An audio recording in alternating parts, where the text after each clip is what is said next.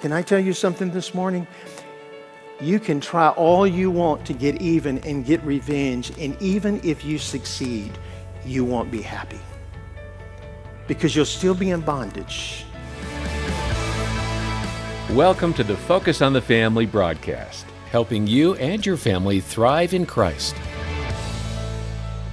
Well, the new year is a great time to let go of old baggage, and we're going to hear how to do that when it comes to anyone who has betrayed us. Our guest, Phil Waldrep, is a pastor and the author of the book Beyond Betrayal Overcome Past Hurts and Begin to Trust Again. Pastor Phil is going to explain the pain of betrayal and how to find freedom in forgiveness. Here's Pastor Phil Waldrep speaking at Thomas Road Baptist Church in Lynchburg, Virginia, on today's Focus on the Family. Several years ago, I was invited to speak in a church, and I arrived, and is the norm for most churches you go to nowadays. There's a very clear plan for the worship service. You know who's singing and who's praying and who's making the announcements and so forth. And the worship leader, the pastor, and I were about to walk into the auditorium. And as we got to the door, the door in that church, there was a glass in the door, so you could see actually the crowd in the church. You could see the people. And when we got to the door, the young worship leader started to put his hand to push open the door, and he froze. I mean, he literally froze. I mean, his hand was in the air, his eyes weren't moving, and he just stood there. It was rather awkward. And the pastor said, Are you okay? And he said, No, Pastor, I'm not. Well, the pastor thought what I thought that he had some medical emergency, something didn't feel right, and the pastor said, Let, us get you a chair, sit down. Well, I'll, I'll get 911. We'll do. He said, No, Pastor, I'm physically fine, but I've got to go home. He said, Okay, but you're physically fine, but you must go home. Yes, Pastor. Trust me, Pastor. I've got to go home. I'll text my wife tell her I've gone home. And he left. The pastor immediately said something to one of the band members who stepped into his role and led worship. And the next day, that young man called to explain to me why he froze as he went into the auditorium. In fact, he asked, could he speak with me? And he came to see me. And as we said, he said, I, I need to tell you what I told our pastor because I owe you an explanation. He said, Brother Phil, do you realize that when I put my hand to open that door and I looked into the crowd, he said it was, it was just an unusual moment that I saw seated in the crowd my father. He said, I knew it was my father. And seated to my father was his live in girlfriend. For a moment, I was glad they were in church, but he said, Brother Phil, I have not seen my father in nearly 20 years. And why he chose to come to church today, I don't know. But he said, I got to tell you, when I saw him, my mind raced back to that time when he left our mom for his girlfriend. He left me and my sister, and we went through hard times, not just emotionally, but financially, because our father walked out of our life and he's never been heard from since. But today, that yesterday, he said the day he of all days, he chose to come to church, and I couldn't do it. And I looked at him and I said, Young man, I need to tell you, I know how you feel. Now, I said, I have to be honest to tell you, my pain is not as deep as your pain. Because I think having a parent or a spouse walk out would be the worst. But I've been there and I've done that. I too know the pain of betrayal. 20 years ago, when we had launched our ministry and things were going well, the man who would I consider my best friend, the man who, who was like a brother, the one person like King David, I would say, would never betray me got involved in immoral and unethical behavior. And it went on for a long time. His wife did not know. I did not know. His closest friends did not know. And it came to light when some legal things happened that didn't pertain to us and legal things that didn't pertain to him. But in the process, I learned he had betrayed me, his family, and others. But the problem was, it left me in shambles emotionally, spiritually, financially. You see, his sin wounded me and others. The sin of that father walking out wounded his children and his wife. Betrayal hurts people. And I looked at him and I said, Young man, I need to tell you, I know the emotions you're going through.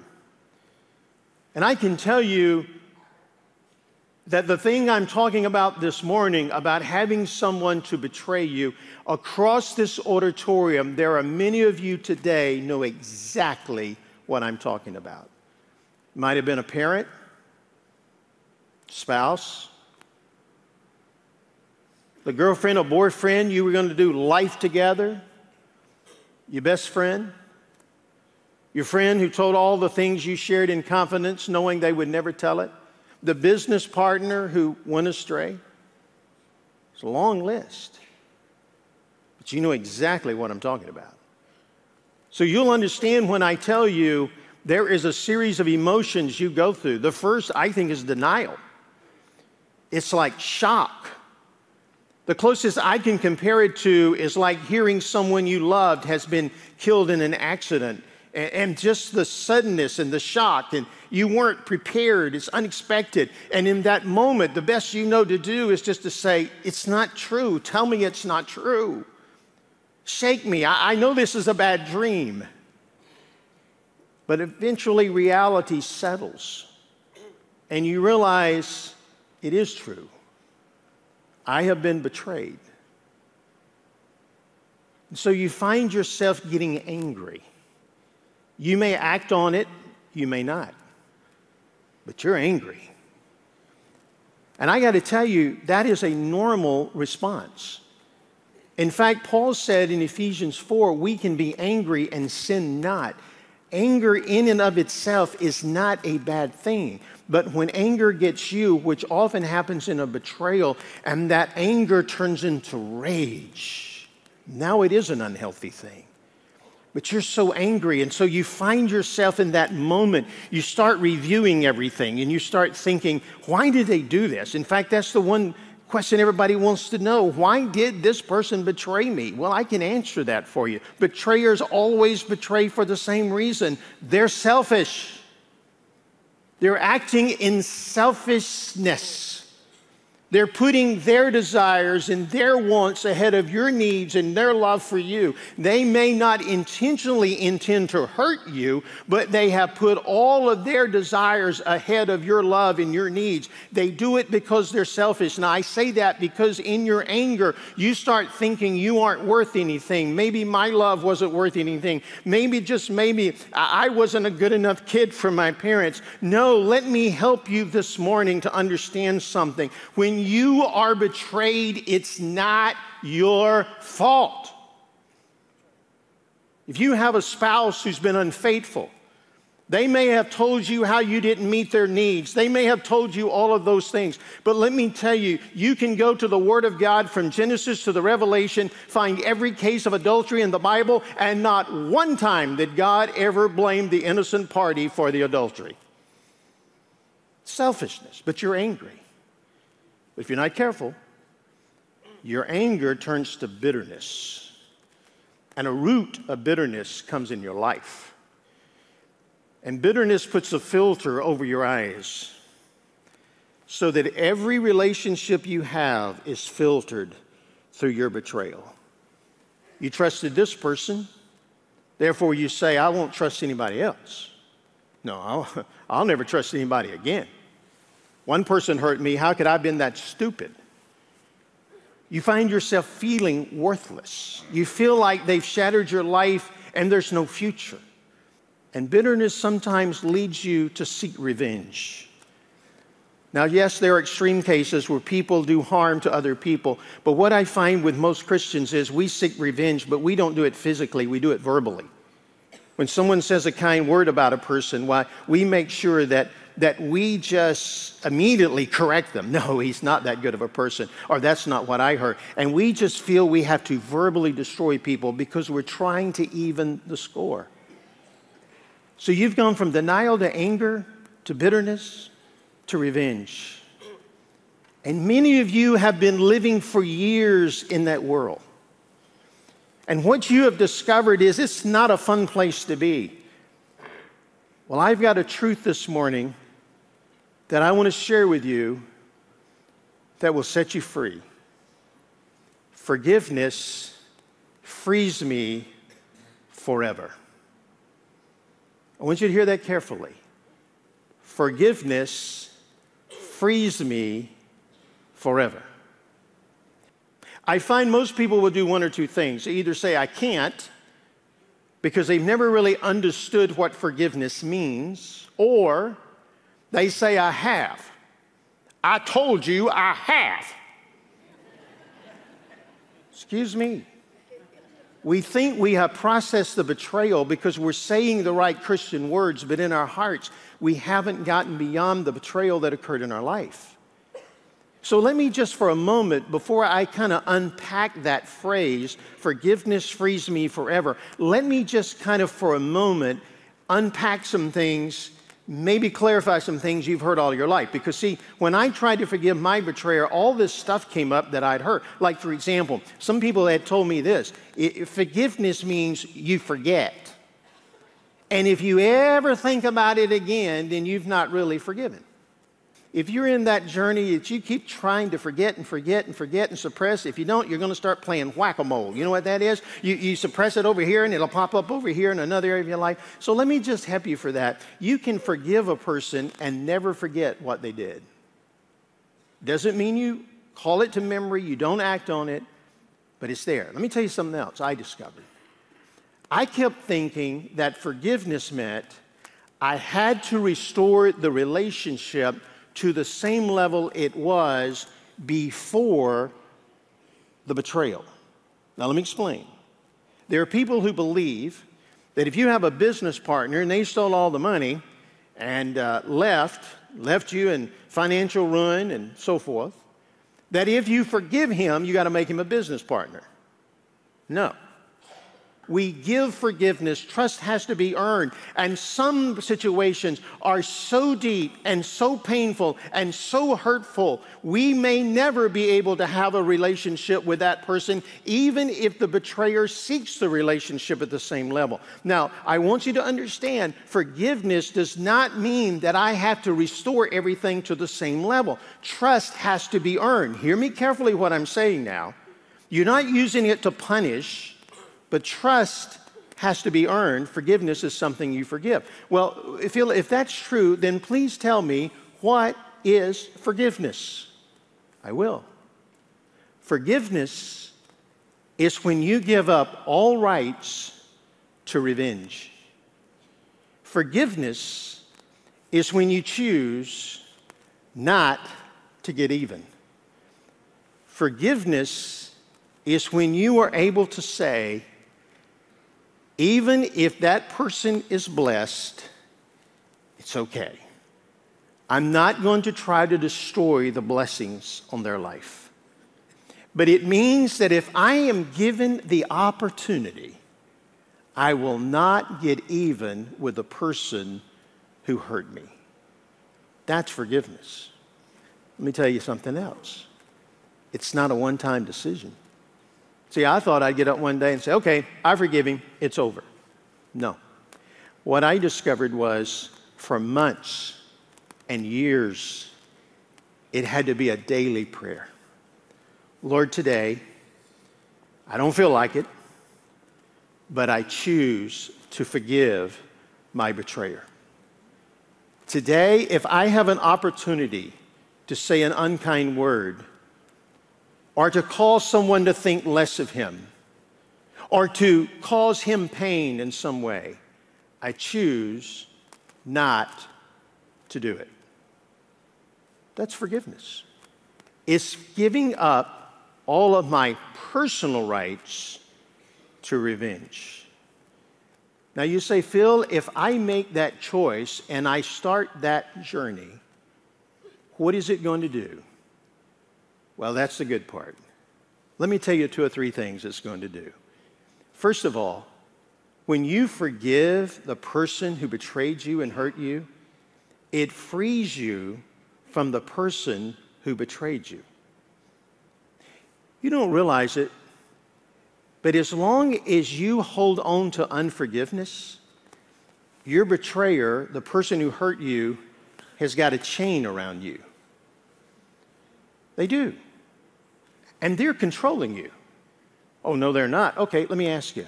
My, my worship leader friend who sees his father, in that moment, he is totally emotionally paralyzed. He can't even lead worship.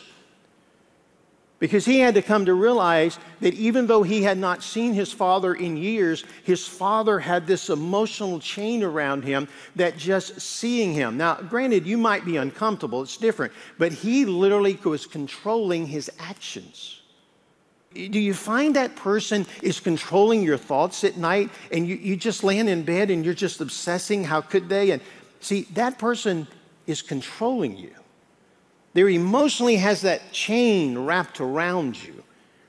And Satan is the one who's tugging on that chain because you don't have any joy, you don't have any happiness, you don't have any of that in your life because you see the chain is attached. Let me tell you what happens. When you make a choice to forgive the person who hurt you, who betrayed you, when you say, Lord, I don't feel like it, they do not deserve it, my friends admit they don't deserve it, what they did was wrong, but I'm not going to let them control me anymore. Lord, I choose to forgive. And I lay the chains down.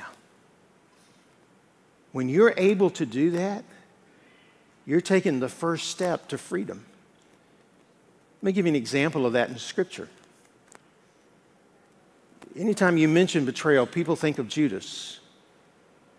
The book of John said that Jesus knew from the beginning that Judas was a betrayer.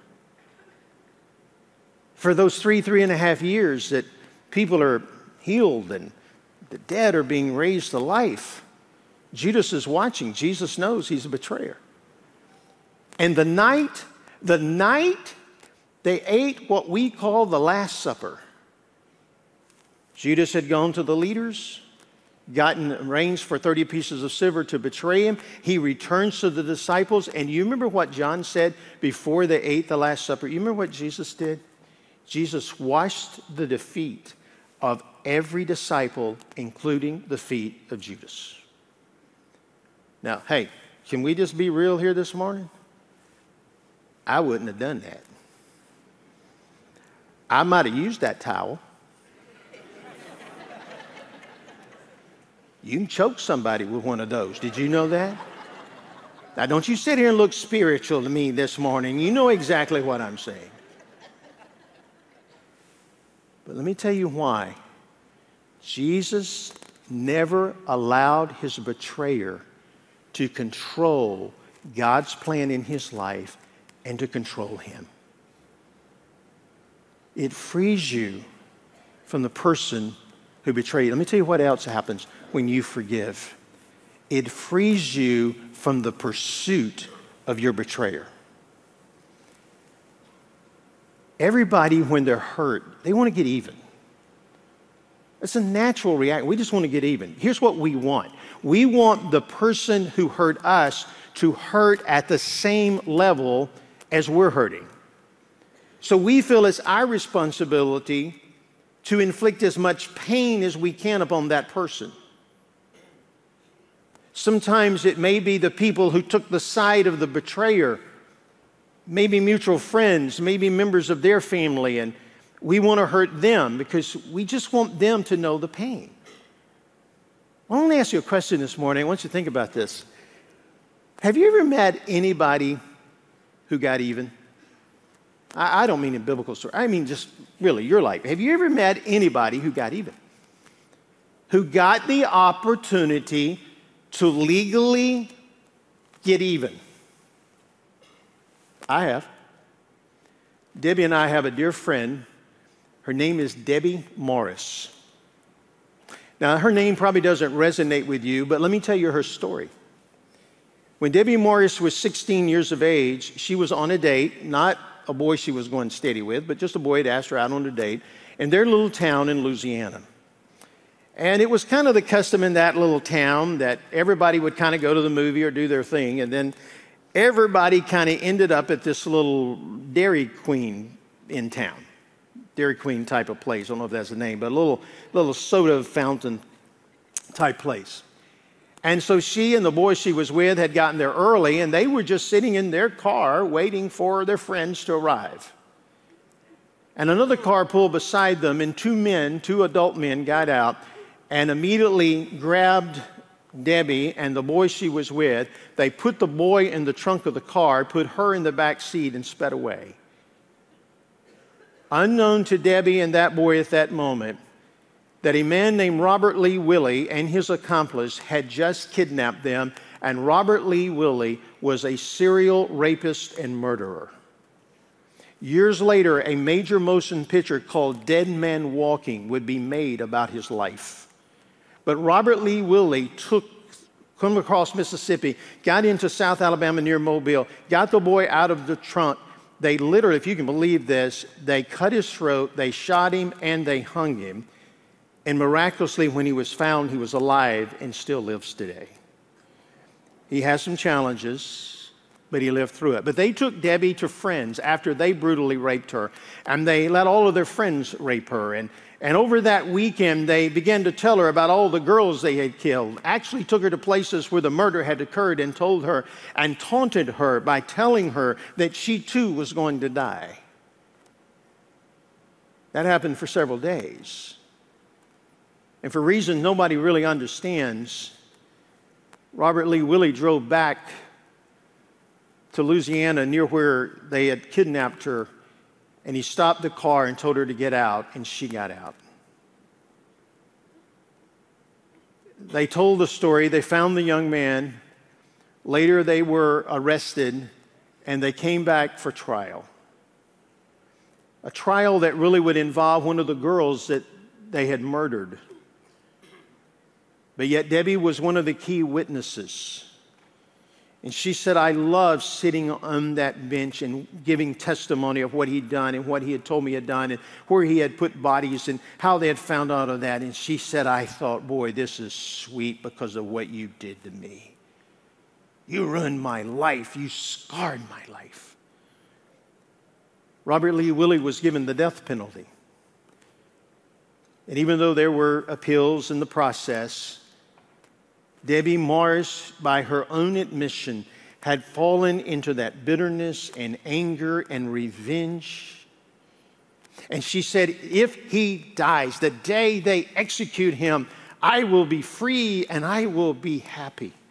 And on that December day, when she got the call that Robert Lee Willie had been executed in the prison in Louisiana, she said, much to my surprise, I wasn't free and I wasn't happy.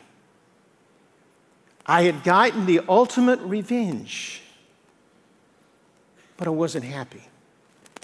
Can I tell you something this morning?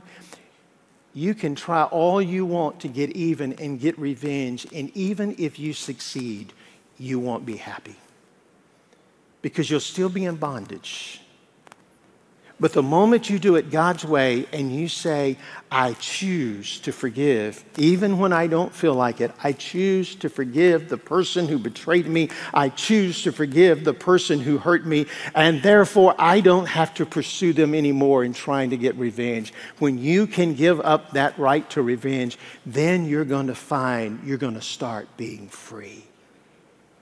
But through it all, let me tell you what else forgiveness does. Forgiveness frees you from the pain of a betrayal. Now, at this point, I don't want to mislead you. So let me be very clear. When you choose to forgive a person, the pain doesn't go away immediately. The pain doesn't go away in 24 hours, a week, two weeks, a year. The pain will lessen but if you start that journey you will one day get to the place where you're free. Hey, can I be transparent with you this morning? It took me nearly 20 years to be completely free of the pain. Now, it lessened. I'd forgiven. But to finally get to the place where there is no pain. Can I tell you about the day I realized I was free from the pain? You see, what happened in my life is what's happened in your life if somebody's wounded you. It attacks your self worth. You feel like nothing. And you start examining your life and you find that the betrayal has shattered your life and your life is in pieces. So you look at your life and think, wow, even if I try to put it back together, it'll never look the same. I'll never be where I was. It's what I thought. And one day I was speaking in a church and I had a lot of downtime and I thought I'd go somewhere and just kill time and uh, just kind of kill time. so I decided there was, near where I was staying, there was an old antique shop. I like to do that some and not buy them, but just wander through and look at old stuff. And so I remember I walked over to this antique shop and I was just walking down through there. And it, one of the things that's always fascinated me personally is old pottery. Now, most of you probably care less about old pottery, but those of you who do, you know that pottery, if it's over 100 years old, made by the right company, can be very expensive, especially if it's very ornate. It can be very, very expensive. But you also know that a piece of pottery that has one chip, one crack, one flaw, one repair is worthless or has very little value. It has to be a perfect piece. And so I was walking through this antique shop and I saw some pottery and I went over and they had very several nice pieces of Hull pottery and rosewood pottery and other types of expensive pottery. And then they had this one piece of pottery. And I really thought it was kind of there as a joke because it obviously was in bad shape. Now, it had been repaired, but you could tell somebody had dropped that piece of pottery and it had gone in all these different pieces and, and sh- it had been broken and had been put together, and they didn't even try to hide the flaws.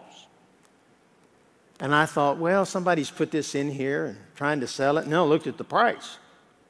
And I thought, wow, that's expensive, far more expensive than all the other pieces. So I went over to the lady who worked there and I said, I, I got to just ask you, why is that piece so expensive? She said, Oh, sir, you don't realize what that is, do you? And I said, No, I do not. She said, That's uh, kintsugi. I think that's the way she said it. And I said, That doesn't mean anything to me. What does that mean? She said, Let me explain to you, sir. You see, over 100 years ago, wealthy people would use metal to eat, but all the average people, poor people, had pottery. And in every culture of the world, when they would have a piece of pottery and they dropped it and it was broken, they just swept it up and they threw it out because it wasn't worth anything anymore. Every culture did that except the Japanese culture. And in the Japanese culture, when a piece of pottery was broken, instead of throwing it out, they would pick up the pieces and they made an epoxy and they would put it back together. But when they did, for it to work, they had to include in the epoxy gold. And that made it whole together. And she said, Sir, that piece of pottery is about 150 years of age. Yes, sir, it has been shattered, but it was put back together with that epoxy made with gold. And, sir, it is worth far more now than a piece of pottery from that same era that had never been broken. And I stood there. And I realized that though 20 years ago my life was shattered, in 20 years, when I had given my broken pieces and I said, Here, Lord, I can't do anything. I give you my brokenness, that He took the power of His word and His love and the preciousness of who He was and doing it His way by forgiving, not trying to seek revenge, not trying to even the score, not trying to do those things. I let him put my life back together. And when he did, can I tell you, friend, it's not egotistical to stand here to tell you today that I see today our ministry is worth more. And I don't mean financially, but I mean in impact and value for far more than it was before the betrayal. And what I'm trying to tell you today is something very simple. You've been betrayed and you've been hurt. The pieces have been shattered. They're all over in your life. My life is worthless. I'll never be the same. But I got news for you. If you'll pick up the pieces this morning, you'll say, Lord, I give you the broken pieces for you to put back together. And you'll do it His way. You'll discover what I discovered forgiveness frees me forever. Wow, Pastor Phil shared a lot of excellent advice, and I hope you've taken it to heart. Let God heal those broken pieces of your life and give you a peace that surpasses understanding. And if this program has brought up some uncomfortable memories for you, please get in touch with us. Our friendly staff would count it a privilege to hear your story and pray with you, and if needed, they'll have one of our caring Christian counselors call you back for a free consultation. That's a service that we have provided here at Focus on the Family for over 40 years, thanks to donors like you. And if you haven't donated to Focus on the Family, can I encourage you to pray about doing that? Uh, we rely on your donations to get these helpful broadcasts and other resources out to people who desperately need them. So let's do that work together. Uh, just our counseling team alone responds to 2,000 requests each month. That's a lot of hurting people that we can help. And when you make a donation of any amount, we'll send you a copy of Phil's book, Beyond Betrayal Overcome Past Hurts and Begin to Trust Again. Get in touch with us today on how to get that. Yeah, you can find your copy of Beyond Betrayal in uh, the program link description below or call 800 the letter A and the word family. On behalf of Jim Daly and the entire team, thanks for joining us today for Focus on the Family. I'm John Fuller, inviting you back as we once again help you and your family thrive in Christ.